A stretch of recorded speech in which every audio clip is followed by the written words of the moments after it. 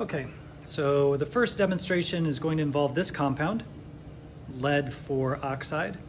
Pour some out so that you can see what it looks like. It has a very reddish brown color to it.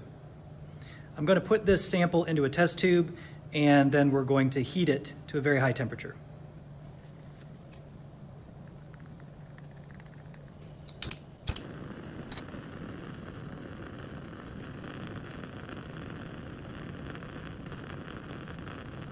Bubbling a little bit.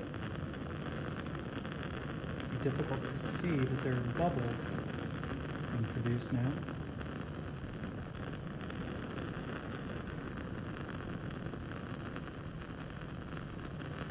Right, now we're going to take it off the flame and let it cool and see what it looks like.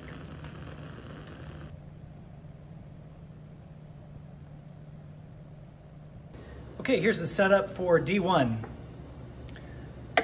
Start with the beaker. This the hot plate's on, so it's nice and warm. And then we've got a watch glass, which just covers the top of the beaker. See that a little bit better. And we're gonna be experimenting with this element. I'll pour some of it out so you can see it. There you go.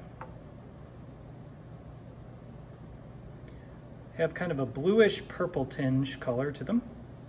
Solid, kind of sparkly. I don't know if you can see that in the video, but they're shiny.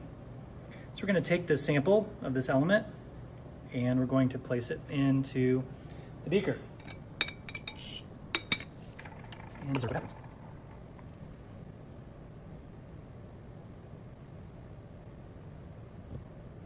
Now one change I'm gonna make to this is I'm going to add a few ice cubes.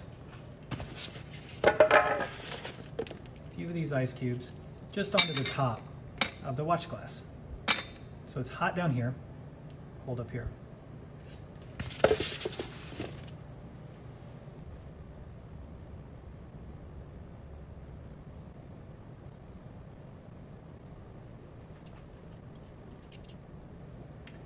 Okay, I'm going to take the watch glass off now, and I want to show you what it looks like. There's material that's deposited onto the surface of the watch glass on the bottom where the ice was making it cold. And we can see that the element is fuming. Lots of purple vapor there.